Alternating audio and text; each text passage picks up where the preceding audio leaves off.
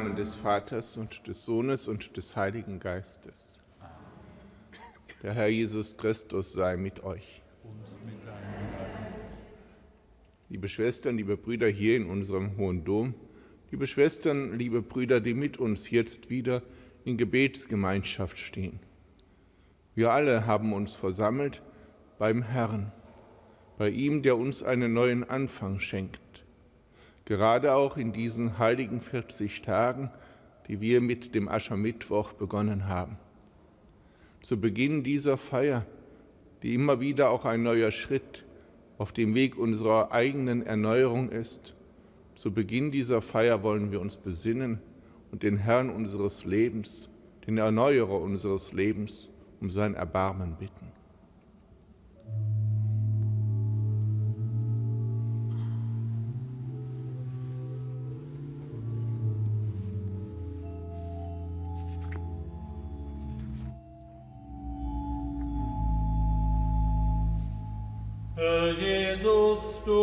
Die Menschen zur Umkehr.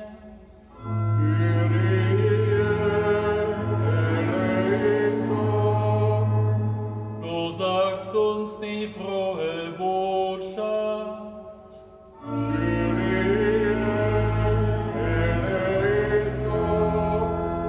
Herr Christus, du wendest nicht den Sündern zu.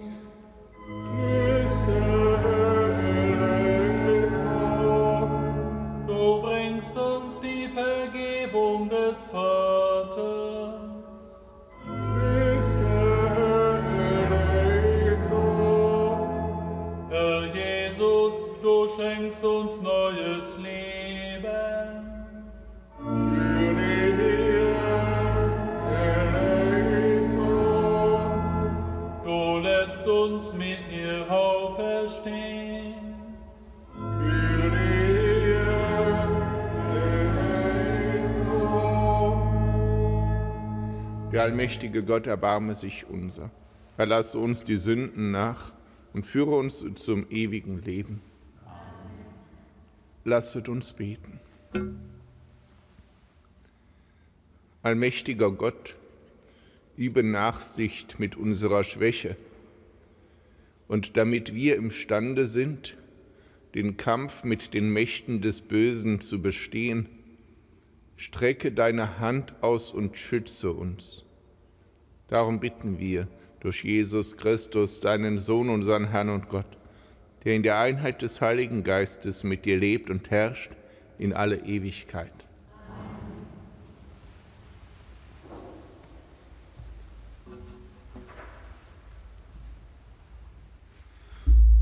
Lesung aus dem Buch Jesaja. So spricht der Herr, wenn du der Unterdrückung bei dir ein Ende machst, auf keinen mit dem Finger zeigst und niemand verleumdest, dem Hungrigen dein Brot reichst und den Darbenden satt machst, dann geht im Dunkel dein Licht auf und deine Finsternis wird hell wie der Mittag. Der Herr wird dich immer führen, auch im dürren Land macht er dich satt und stärkt deine Glieder. Du gleichst einem bewässerten Garten, einer Quelle, deren Wasser niemals versiegt. Deine Leute bauen die uralten Trümmerstätten wieder auf, die Grundmauern aus der Zeit vergangener Generationen stellst du wieder her. Man nennt dich den Maurer, der die Risse ausbessert, den, der die Ruinen wieder bewohnbar macht. Wenn du am Sabbat nicht aus dem Haus gehst und an meinem heiligen Tag keine Geschäfte machst, wenn du den Sabbat den Tag der Wonne nennst, einen Ehrentag, den heiligen Tag des Herrn, wenn du ihn ehrst, indem du keine Gänge machst, keine Geschäfte betreibst und keine Verhandlungen führst, dann wirst du am Herrn deine Wonne haben, dann lasse ich dich über die Höhen der Erde dahinfahren und das Erbe deines Vaters Jakob genießen. Ja, der Mund des Herrn hat gesprochen. Wort des lebendigen Gottes. Dank sei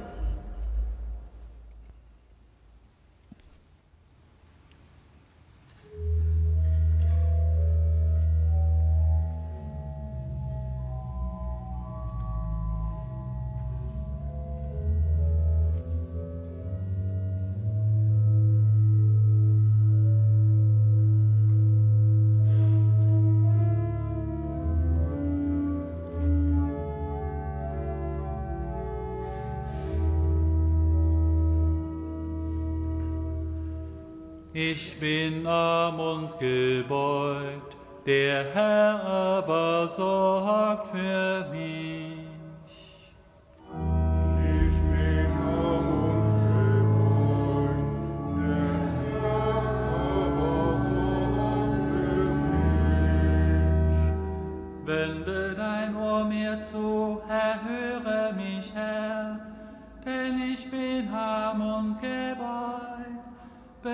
Beschütze mich, denn ich bin dir ergeben.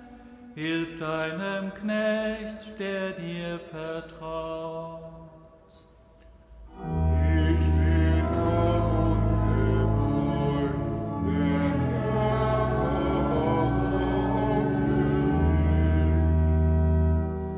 Du bist mein Gott, sei mir gnädig. Den ganzen Tag rufe ich zu dir. Herr, erfreue deinen Knecht, denn ich erhebe meine Seele zu dir.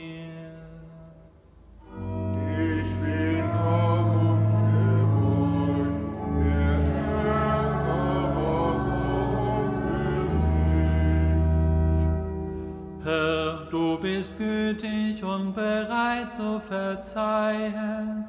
Für alle, die zu dir rufen, reich an Gnade. Herr, vernimm mein Beten, achte auf mein lautes Flehen.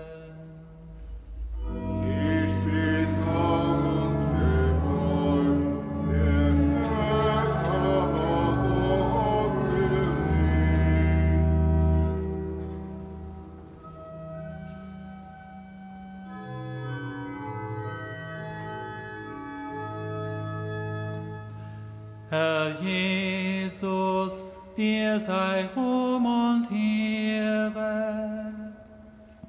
Herr Jesus, dir sei Lob und Ehre.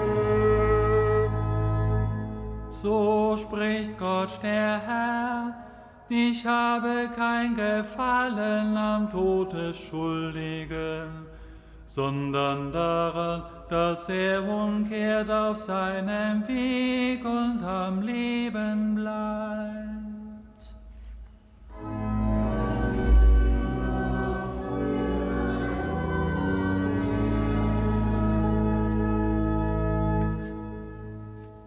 Der Herr sei mit euch. Aus dem heiligen Evangelium nach Lukas.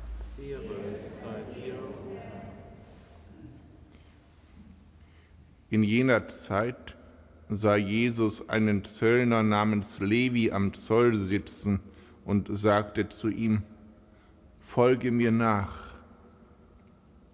Da stand Levi auf, verließ alles und folgte ihm. Und er gab für Jesus in seinem Haus ein großes Festmahl. Viele Zöllner und andere Gäste waren mit ihnen bei Tisch. Da sagten die Pharisäer und ihre Schriftgelehrten voll Unwillen zu seinen Jüngern, wie könnt ihr zusammen mit Zöllnern und Sündern essen und trinken? Jesus antwortete ihnen, nicht die Gesunden brauchen den Arzt, sondern die Kranken. Ich bin gekommen, um die Sünder zur Umkehr zu rufen, nicht die Gerechten. Evangelium unseres Herrn Jesus Christus. Lob sei dir, Christus. Setzen Sie sich bitte kurz.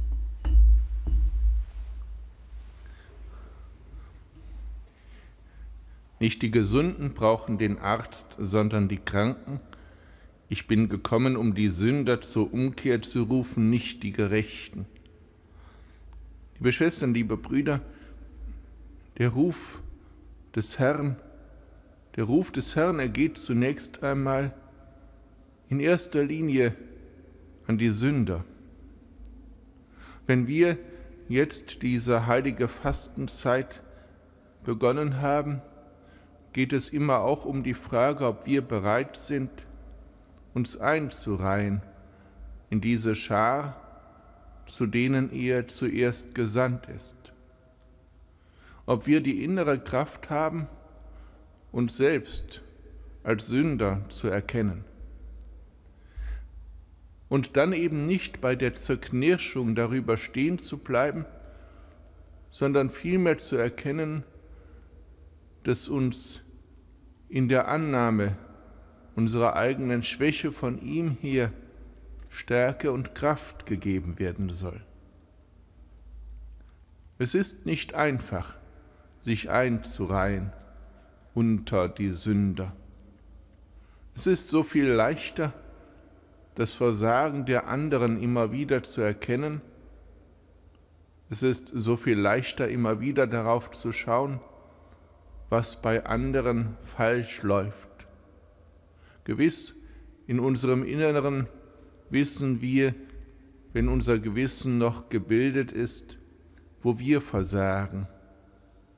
Aber tun wir dann auch den Schritt von dieser Erkenntnis hin zum Herrn, hin zu dieser heilenden, befreienden, barmherzigen Liebe des Herrn. Der Herr ist gekommen, die Sünder zu rufen, die Sünder zu rufen zur Umkehr.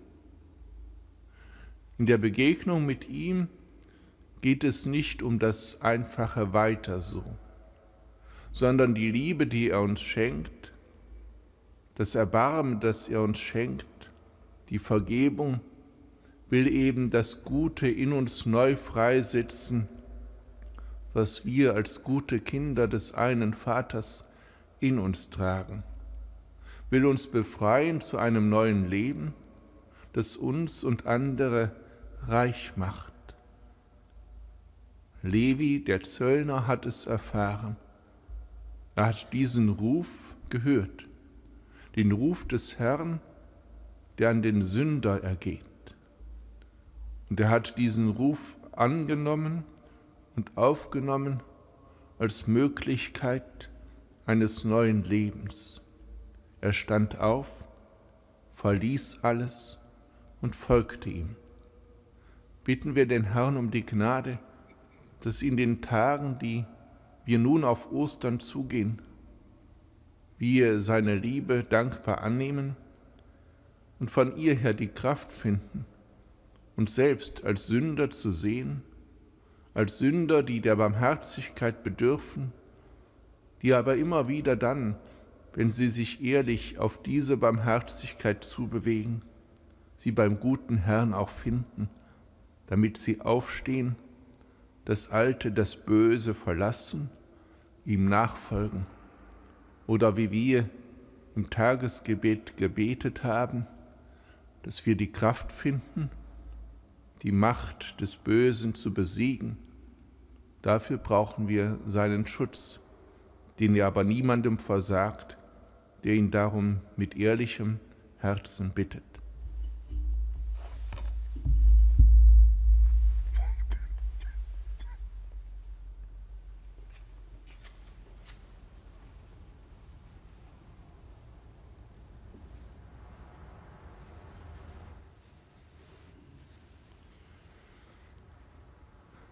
zu Christus, dem Arzt, der uns heilt. Lasst uns in diesen vorösterlichen Tagen voll Vertrauen rufen. Herr, erhöre uns.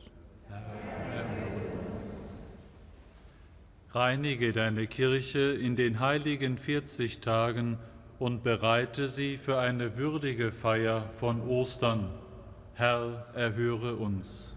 Herr, erhöre uns. Gib den Gläubigen neuen Eifer im Gebet und im Einsatz für das Gute. Herr, erhöre uns. Herr, erhöre uns. Nimm dich der Kranken an und richte sie auf aus ihren Schmerzen. Herr, erhöre uns. Herr, erhöre uns. Vertreibe den Hochmut aus unserem Denken, Hilf, dass wir auch das uns Fremde achten. Herr, erhöre uns. Herr, erhöre uns. denn du lädst uns an deinen Tisch, an deinen Tisch der Gnade und des Heils. Dafür sagen wir dir Dank und loben dich. Dir sei Ehre in Ewigkeit. Herr, schenke uns Lebenden deine Gnade, unseren Verstorbenen schenke die ewige Ruhe. Herr, lass sie ruhen in deinem Frieden.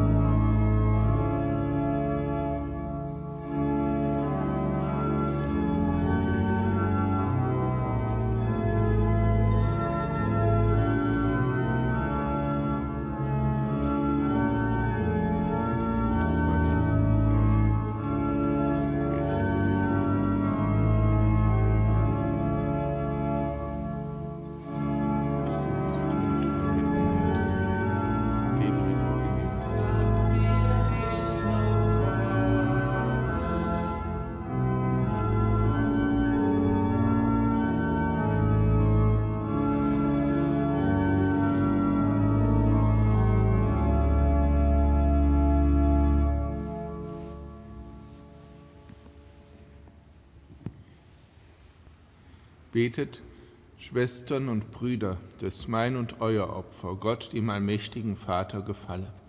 Der Herr nehme das Opfer an aus deinen Händen, zum Lob und Rufe seines Namens, zum Segen für uns und seine ganze heilige Kirche. Nimm an, o Herr, das Opfer des Lobes und der Versöhnung. Löse uns aus aller Verstrickung in das Böse damit wir in freier Hingabe ganz dir gehören. Darum bitten wir durch Christus, unseren Herrn. Amen. Der Herr sei mit euch. Und mit deinem Geiste. Erhebet die Herzen. Wir sie Herrn. Lasset uns danken dem Herrn, unserem Gott. Das ist in Wahrheit ist es würdig und recht, dir Vater im Himmel zu danken und dein Erbarmen zu preisen. Denn jedes Jahr schenkst du deinen Gläubigen die Gnade, das Osterfest in der Freude des Heiligen Geistes zu erwarten.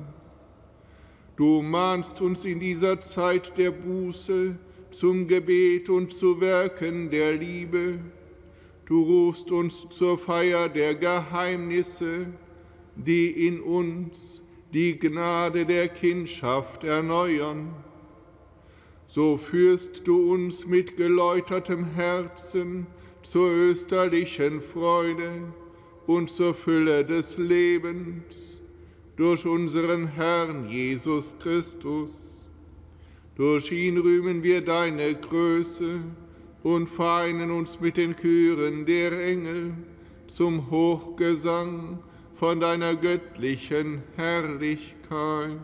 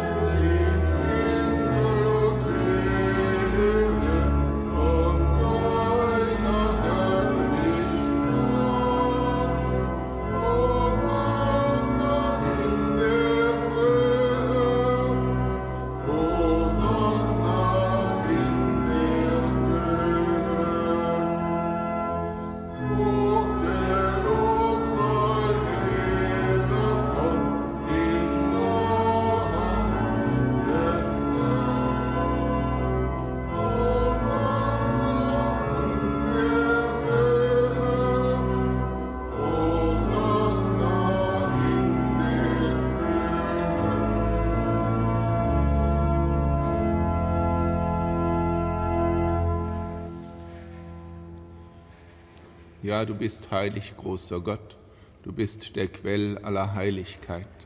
Darum bitten wir dich. Sende deinen Geist auf diese Gaben herab und heilige sie, damit sie uns werden, Leib und Blut deines Sohnes, unseres Herrn Jesus Christus. Denn am Abend, an dem er ausgeliefert wurde, und sich aus freiem Willen dem Leiden unterwarf, nahm er das Brot und sagte Dank, brach es, reichte es seinen Jüngern und sprach, Nehmet und esset alle davon, das ist mein Leib, der für euch hingegeben wird.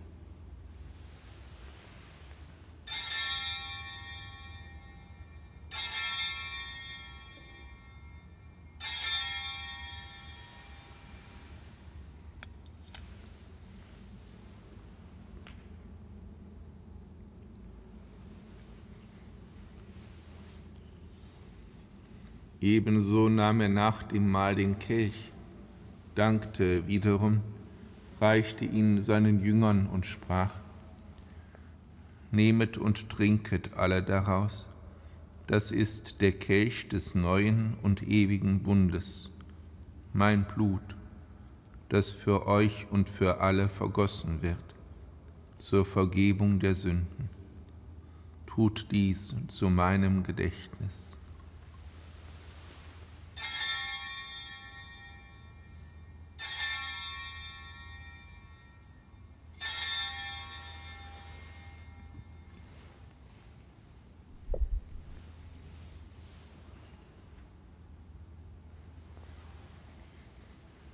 Geheimnis des Glaubens.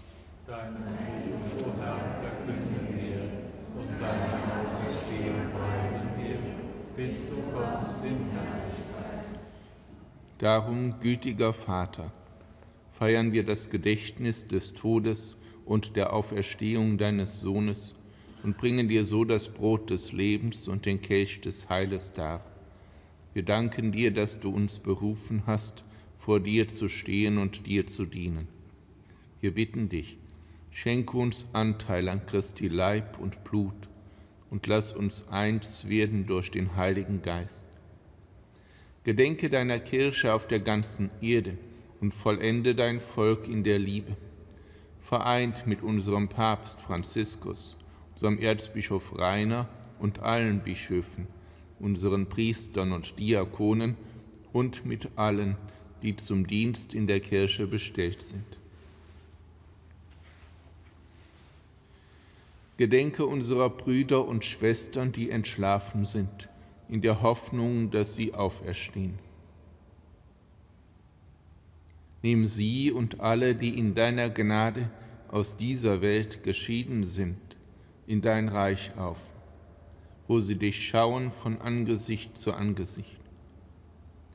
Vater, erbarme dich über uns alle, damit uns das ewige Leben zuteil wird, in der Gemeinschaft mit der seligen Jungfrau und Gottesmutter Maria, mit ihrem Bräutigam, dem heiligen Josef, mit deinen Aposteln und mit allen, die bei dir Gnade gefunden haben, von Anbeginn der Welt, dass wir dich loben und preisen durch deinen Sohn Jesus Christus.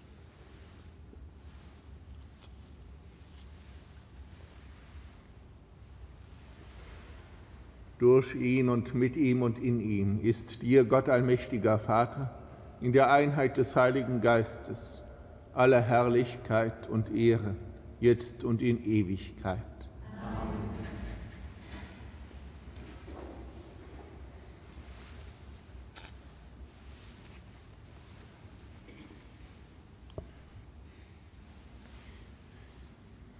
Zu unserem Vater der alle Zeit auf uns wartet, lasst uns voll Vertrauen beten.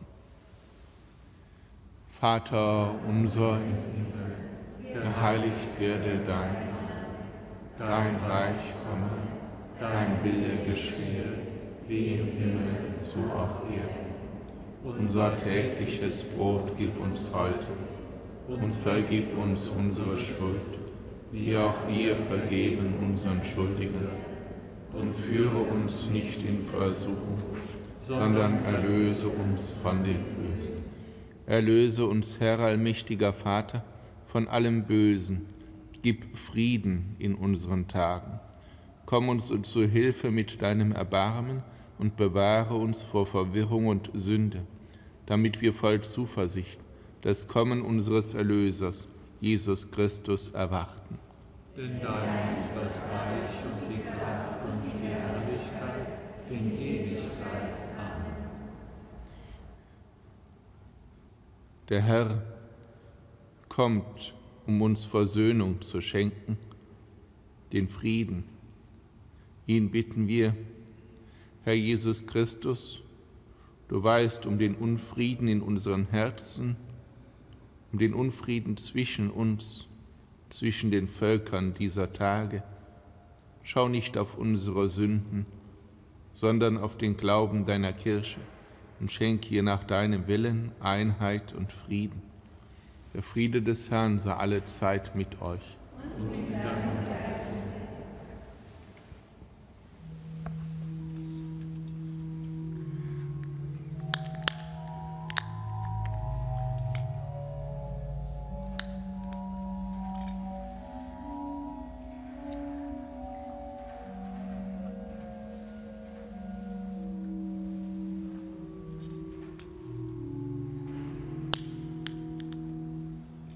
Lamm Gottes, verspottet wegen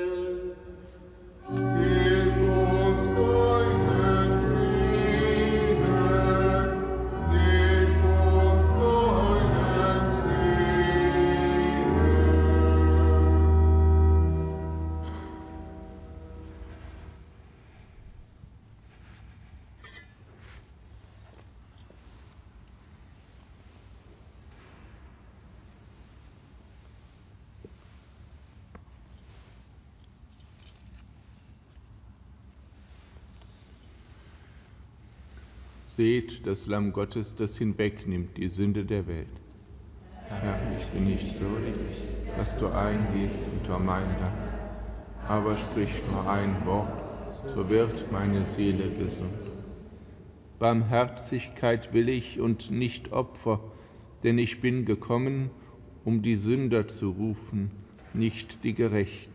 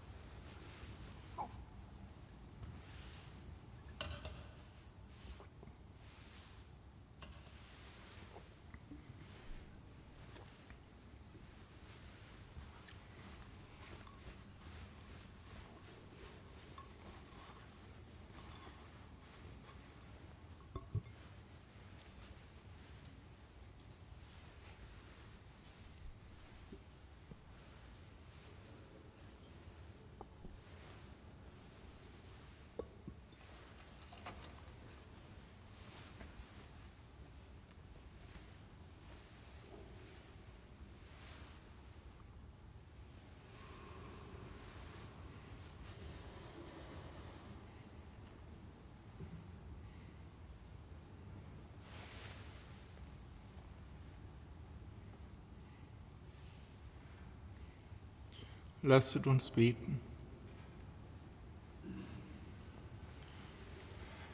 Gütiger Gott, du hast uns den Leib und das Blut deines Sohnes geschenkt.